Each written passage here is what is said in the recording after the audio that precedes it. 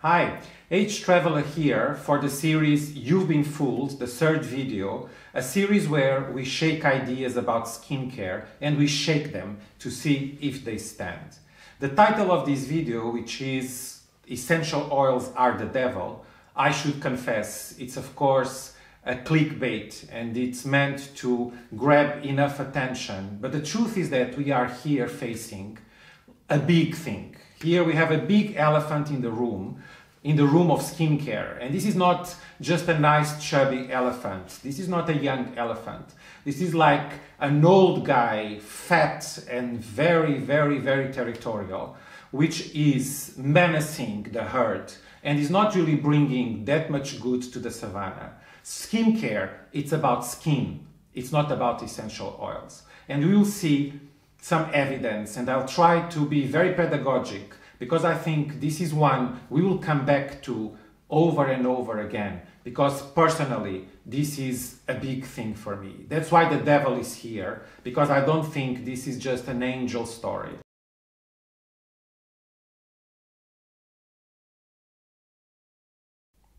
So maybe it's going to be very helpful before saying more about what they are to say what they aren't and they are definitely not pressed oils. So when we say sunflower oil, olive oil, macadamia oil, when we say cosmetically, maybe more so marula oil, when we say rosehip oil, we are not talking about essential oils.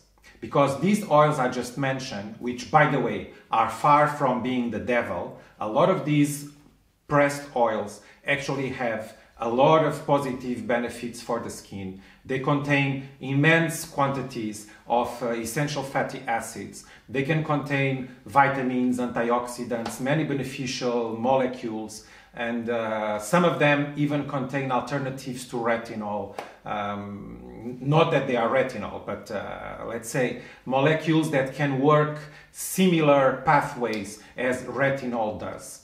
And we are not here saying if it works more or less, but none of these are essential oils. What the different touching point is of what an essential oil is, is that, as I mentioned, it's volatile. Volatile meaning it evaporates at room temperature. And none of these pressed oils I mentioned, which are also used for food, are volatile. You can leave a bottle of olive oil open for weeks and months and eventually years. Of course, it will rancid, it will alter, but it will not uh, evaporate. And the difference also in obtaining these oils is that while the pressed oils are simply obtained pressing the fruits, the seeds um, where they are contained, um, essential oils are obtained through steaming, so distillation, and they use vapor, high temperature condensation uh, to separate the essential oil from the floral water.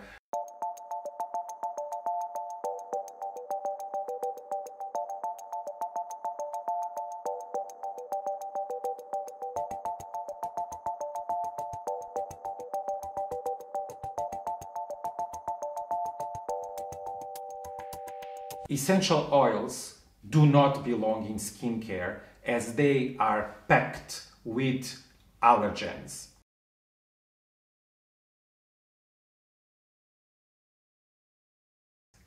Essential oils in skincare are the balance which is totally wrong because you have the highest risk in terms of allergens and you have the lowest evidence of a skincare benefit.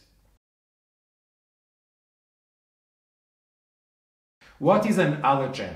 An allergen it's a mathematical probability to have a negative reaction. And the negative reaction comes from skin. So there are some molecules which are known for being more allergenic than the others. Essential oil is a name for a cocktail of allergens, topically. I have to go back to that over and over because the last thing I want is to waste my energy and my time fighting the wrong enemy. Essential oils, as in aromatherapy, as in fragrance, as in spa, massage, candles, uh, oils that you massage, dilute, and you rinse off, etc., etc., are not my enemy. My enemy is the presence of essential oils in high concentrations as a belief and a philosophy in skincare, which is actually almost a skin crime. If you think skin biology, you know that the last thing that human skin wants is a cocktail of allergens.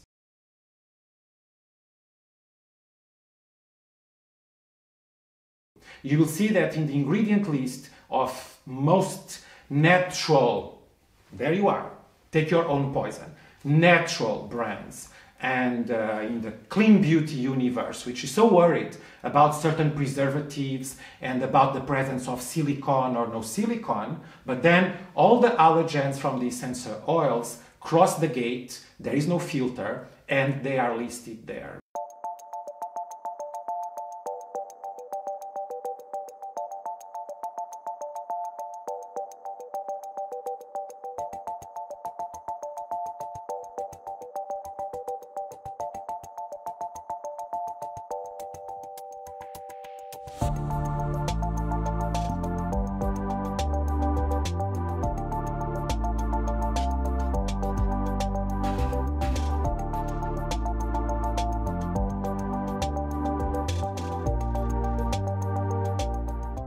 When you see them, you will always see an asterisk with these softening expressions. Naturally occurring in essential oil, naturally occurring in the fragrance, natural compound of essential oil.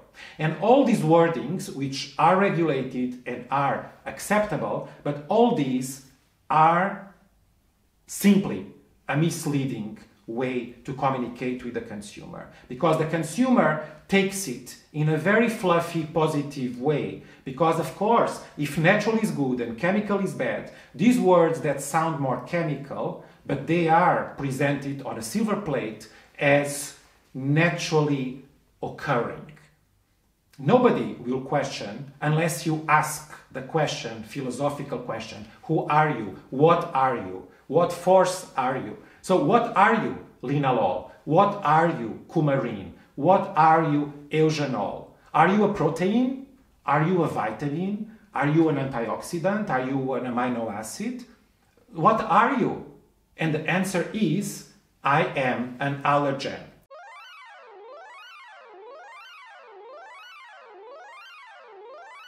So we talked extensively, but I, I enjoyed it. I, I hope you did as well. By the way, if you enjoy this type of videos, it's also time to start like all the other YouTubers to invite you to subscribe my channel. As I mentioned something in the beginning, but now I'm openly declaring that I think you should subscribe. You should click on the bell so that whenever there is a new video, you get information to listen to this crazy guy who passionately shakes ideas and talks about skincare because there is a lot of stuff out there which is called skincare and it is not caring.